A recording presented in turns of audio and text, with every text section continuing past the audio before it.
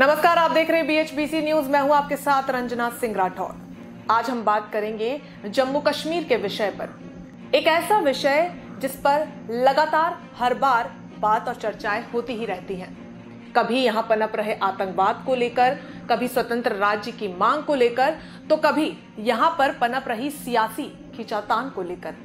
लेकिन आज हम जिस विषय पर बात करेंगे, उस पर शायद आपको बहुत कम ही जानकारी हो। हम बात कर रहे हैं जम्मू कश्मीर के अपने स्वतंत्र झंडे के बारे में। आज हम आपको बताएँगे एक ऐसी कहानी जो वर्षों पहले लिखी गई, लेकिन उसका अस्तित्व, उसकी महत्वता आज भी बनी हुई है। क्योंकि जम्मू कश्मीर जो राज्य है, वो दूसरे राज्यों से एकदम अलग है। यहाँ का स्वतंत्र संविधान और एक विशेष झंडा इसे बाकी राज्यों से बिल्कुल अलग बनाता है।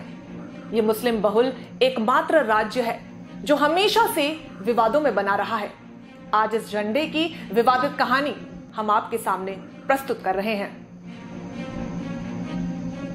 भारतीय राष्ट्रीय ध्वज के साथ साथ जम्मू कश्मीर का झंडा भी समांतर रूप से अस्तित्व में रहा है। इसे साल 2015 में बीजेपी सदस्य और पूर्व पुलिस अधिकारी फारूक खान ने जम्मू कश्मीर हाईकोर्ट में चुनौती दी थी। लेकिन पिछले कुछ समय से कोर्ट इस मसले पर शांत ही रहा है। फारूक खान बाद में लक्षद्वीप में प्रशासक के रूप में नियुक्त किए गए। फारूक खान ने यह याचिका मुफ्ती मोहम्मद सईद सरकार के उस सर्कुलर के बाद दायर की थी, जिसमें उन्होंने सभी संवैधानिक इमारतों और सरकारी वाहनों पर जम्मू कश्मीर के प्रांतीय झंडे को फहराने का आदेश दिया था। और ये सर्कुलर तब जारी किया गया था, जब अब्दुल कयूम खान नाम के एक शख्स ने झंडे के सम्मान के संबंध में अदालत के निर्देश मांगते हुए एक याचिका दायर की थी। ये पीडीपी बीजेपी सरकार के बीच पहली तकरार थी। बाद में सरकारी वेबसाइट से चुपचाप ये सर्कुलर हटा दिया गया। ये मामला अदालत में तब पहुँचा जब बीजेपी और पीडीपी गठबंधन के एजेंडे नाम से एक समझौते के तहत जुड़ गए थे।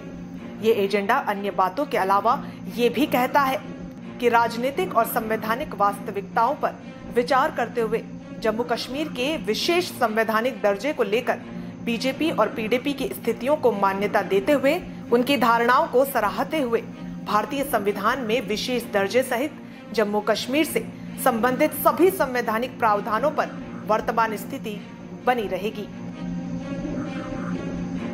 आपको बता दें जम्मू कश्मीर के झंडे का बैकग्राउंड लाल रंग का है और इसमें एक हल की तस्वीर बनी हुई है।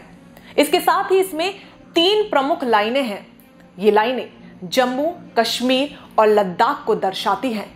इनका अपना एक अलग इतिहास है जो 1931 के राजनीतिक आंदोलन से गहराई से जुड़ा हुआ है।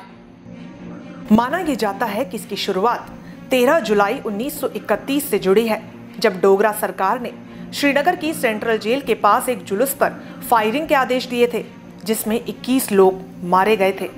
बताया जाता है कि इसके विरोध में किसी ने घायल व्यक्ति की खून में सनी हुई कमीज निकाली और भीड़ ने उसे जम्मू कश्मीर के झंडे के तौर पर फहराया। 11 जुलाई उन्नीस को डोगरा शासकों के विरुद्ध आंदोलन कर रहे राजनीतिक दल जम्मू और कश्मीर नेशनल कॉन्फ्रेंस ने इसे अपने झंडे के तौर पर अपनाया। भारत के पूर्व प्रधानमंत्री जवाहरलाल नेहरू और तत्कालीन जम्मू कश्मीर के प्रधानमंत्री शेख मोहम्मद अब्दुल्ला उन्नीस सौ बावन में केंद्र और राज्य की शक्तियों को परिभाषित करने वाले एक समझौते पर राज़ी हुए थे।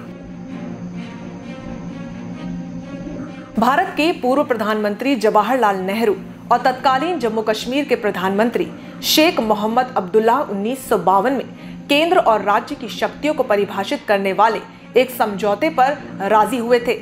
झंडे के मसले में तिरंगे को राष्ट्रीय ध्वज माना गया। जम्मू कश्मीर के झंडे को राज्य का झंडा माना गया और दोनों साथ फहराए गए। समझौते की धारा चार में लिखा गया था केंद्र सरकार केंद्रीय झंडे के साथ राज्य सरकार के अपने झंडे को लेकर सहमति जताती है। लेकिन राज्य सरकार इस पर सहमत नहीं है कि राज्य का झंडा केंद्रीय झंडे का प्रतिरोधी नहीं होगा। ये भी मान्यता दी जाती है कि केंद्रीय झंडे का जम्मू और कश्मीर में वही दर्जा और स्थिति होगी जो शेष भारत में है।